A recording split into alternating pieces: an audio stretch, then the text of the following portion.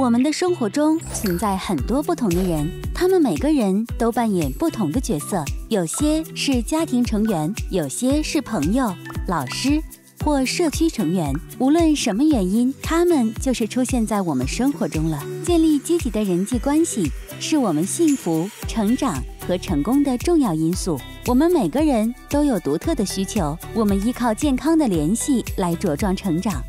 尊重舒适区在任何关系中都很重要。当我们受到关怀、尊重和善意的对待时，这意味着很多很多。理解他人，想想他们舒适感和安全感。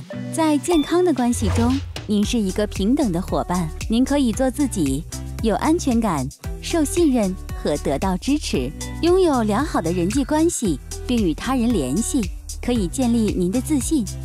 积极的友谊可以帮助我们感到更快乐，压力更小，甚至可以帮助您处理困难的事情。技术和互联网让身处世界不同地区的人建立联系，但在网上拥有数百个朋友，并不完全等同于拥有几个可以在更深层次上相处的亲密朋友。拥有网上好友是很好的，但是要尝试把现实世界的互动放在首位。有时，有些关系中发生的事情会引起压力，让人担忧，使人产生悲伤和困惑的感觉。不健康关系的迹象包括受控制、被羞辱、经历强迫或身体虐待、刻薄或伤害性的行为，会导致关系变得不健康。如果您不确定这是否发生在您身上，您可以随时与值得信赖的成年人。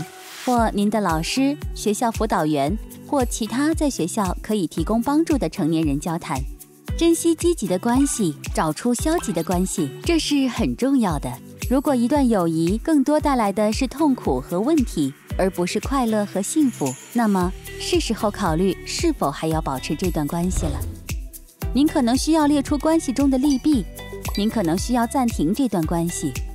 永远不要觉得您必须维持一段让自己不快乐的友谊，花点时间来决定什么最适合您。